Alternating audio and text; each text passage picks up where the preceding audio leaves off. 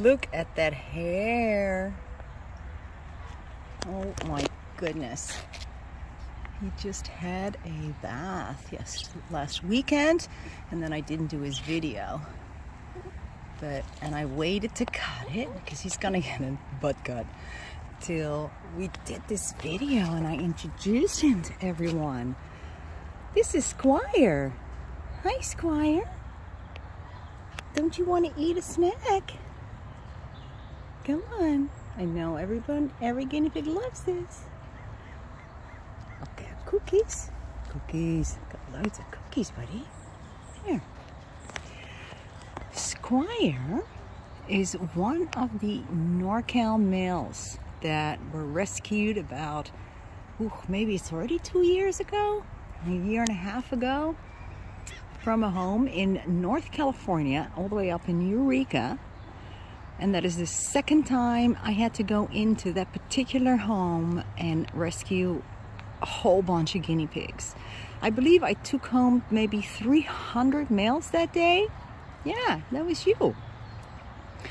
And the very first rescue I did from that area, from that group, was oh, I'm so bad in numbers, but it, was something like the total guinea pigs on the property were 729, I believe. And 729, and I only took the females. I could not have all the males. So the males stayed there um, for another year and a half. And then, ugh, sadly, what happened is that the gentleman discovered YouTube and started doing YouTube videos featuring all his guinea pigs, but he still continued breeding. Because the first group I took of him were all his females and then eventually after they were done having birth we had over 1200 guinea pigs or so. Now that took us three years and a lot of money a lot of work to help these animals and then to find out that he was still at it creating more guinea pigs that was actually it was an embarrassment as well for me personally because if I go in and take a big group I need it to be done. I am not going to go back for a second time because then I am enabling so it was really really tough for me to have to go back but the police department called me. And and I was still well aware that the males I was not able to get out were still there living miserably um, no other rescue had stepped up in that time to take these these guys. I mean it's not easy to take just a group of 250 or so male guinea pigs. Um, anyway they called me and this was the chance to get everybody but this time for good. Absolutely single every single guinea pig on the property so there's some videos actually of, you know, the first days when we got them and the health checks we gave them. You might probably see Squire there as well. Nice Squire. Now, what's funny is, uh, oh, funny, interesting, there were a lot of purebred long-hairs amongst that um, group. I'm sorry, you don't like me touching your hair. I'm sorry. I can't help it. It's so pretty. It is so pretty. Oh, you can see actually here, it's very rainy. Ooh, look at that. That's a big eagle. Nice. Um, but you're safe. Yeah, you're with me. You're safe. Now, a lot of the males had completely messed up eyes like this. And that's from fighting. When they fight, they can be and left unchecked, you know, because there were so many males all living together and the resources were scarce. They fight so a lot of them had one or two eyes completely horribly uh, infected and messed up and blind and and then the, also they had a lot of lip skin missing. So they started ending up looking all odd as well and the lips. And um, hi sweetie and he's doing really good. He's an old guy. And most of those are now older guinea pigs. Listen, I brought you so much different stuff. I can't believe I have to get you some grass. Let me get you some grass.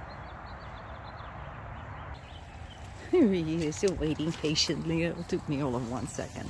There, grass. come on. Oh, you can be that shy. He's a little shy, but surely not if you get a whole pile of grass put in front of you. You forget all about that. Um, okay, so where was I? Explaining about this big rescue. Oh, uh, yeah. Second time I went, there was not only the males, but there were also females, unfortunately. A lot of females that had been having babies. You know, the good thing is that actually none of those females appear to be pregnant. That we all put them on pregnancy watch. None of them had babies. So at least they're doing something right, I suppose. Though on the new videos that were being put out, I could clearly see that there were um, young babies. So this gentleman also, um, after we took the first batch, and there was some press that we got about that, you know, it's, it's, it's, it's not every day that a small guinea pig rescue gets inundated with so many guinea pigs. So we had some press on that. And uh, so he then started looking into us and found out that we were charging $35 for an adoption fee on a guinea pig. And I think he figured that I was somehow that we, not me, all of us, we at the rescue, the organization, were making tons of money from his guinea pigs. I'm, I'm just, oh gosh, I mean, this gentleman, um, I, um, I hope he's gonna, he's getting the help he needs. Yeah. I hope he's getting the help he needs. and I'm not upset or mad toward this gentleman. All I can see is the tragedy of the situation for everybody involved, not just the animals. So, anyway, and he's been here for a while. Oh, let me let me see you eat that because they're so cute. When you do that, I just want to see those lips. Yay, grass. Oh, you gotta see that. Good for you. They love those. Good boy. So let's see. He must be about five and a half, six years old now. Six probably. Yeah. And he's still going strong. There's a lot of them that have arthritis, really, really bad arthritis. Um, I think some of them may have old breaks in their in their legs. Um, I don't know where how they would have sustained those. I don't know. And over the past years, we have managed to adopt some out of the more healthier ones, um, of the more younger ones. So what we are left with now is just a group of older, older, older males that probably have something going on and are just not really that easily adoptable. So I think what we have left here is what we're gonna be, you know, um, stuck with. No, that's a bad word. That we are going to have at our sanctuary where they will live out their lives very happily with lots of food. And they still live together, but a much smaller groups. There's two groups much smaller, very small compared to what they they were living at. It was one huge giant group and it was really survival of the fittest. Now obviously that doesn't happen here.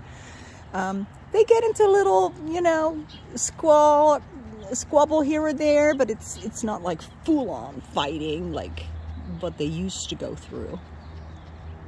Um, and we make the two groups specifically to keep the, the more um, you know, meeker guinea pigs, the ones that were not as strong, separate from, you know, the real kind of the more alpha that would otherwise pick on them and um, they wouldn't really thrive in that in that area. So we've been really good in observing them all and, and figuring out exactly where they would do good. And then watching them, observing them, if we see one was, you know, super aggressive, we take them out, take them to the front, maybe get them neutered, find them a friend and get them adopted. So you know, I think we've done really well considering because that was a really tough job.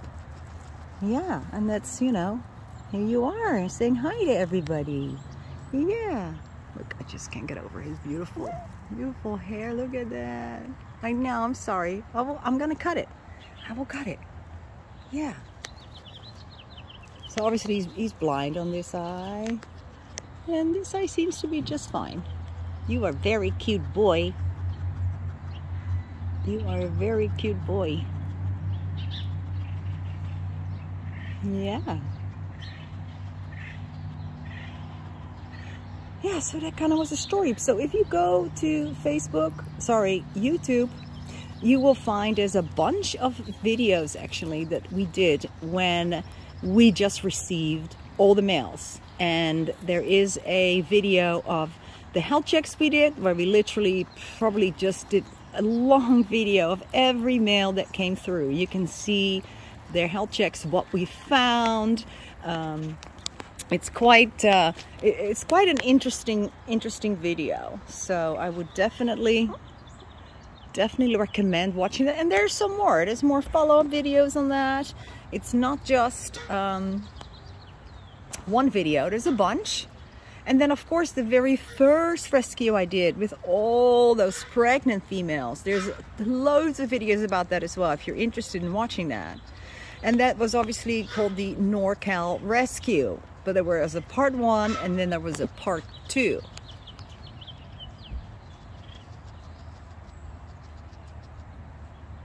And then as he was, you know, uh, had videos on YouTube, I was just I I tried not to watch them, but it was really hard because I wanted to see how they were doing.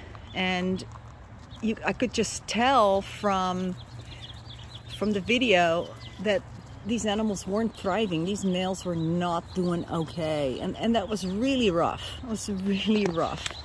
Um, knowing that I, right now, do not have the... I, I, I just couldn't go get them at that point. I just couldn't. And that was really rough. And they looked terrible. I mean, they looked like they were limping, the hair was missing. I mean, they just really looked like a batch of, you know, um, neglected animals. And I remember seeing all lots of, um, remember seeing lots of remarks about how oh this is the cutest video ever and and oh my gosh i just love your channel and i wish i just guinea pig heaven and and then i just realized these these people do not, cannot see what i see. They don't see what i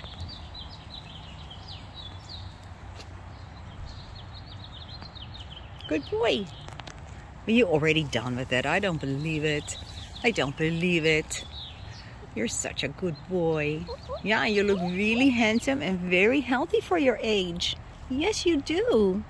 Anyway, he is adoptable if someone wants to adopt him. But we do like these guys to go if someone has a lot of guinea pig experience and, uh, you know, not to a beginner owner because they require just a little bit more knowledge than when you just adopt some two young younger guinea pigs. Are you done? You done? What do you want to do now? Go home? You want to go home, baby? Okay, let's go home. Let's go put him back. Okay, let's go put you back. Yeah. Okay, there you are, buddy. You should back home. And uh, would be wonderful to get some of these boys also neutered. I asked Dr. Nen if she was okay with neutering older gentlemen, and she said, yeah, um, I should be okay with that. Um, but she can only do so many at a time, and her time is very precious. She doesn't have a lot of it. So we managed to book her for our own piggies or for neuters, but like last week she came for neuters. She had four on the schedule, but then just spend the whole afternoon just looking at our own pigs, doing x-rays on, on the pigs on general care rather than any, she just didn't get to it, you know, there was other stuff more important. So, Anyway, well, thank you, Squire, so we can meet you a little better. Yeah. Yeah, look at this little baby one. And I'll go give you a haircut soon, okay? Good boy.